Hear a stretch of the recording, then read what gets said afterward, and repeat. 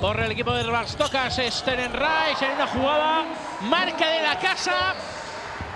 Teren Reis anota sus dos primeros puntos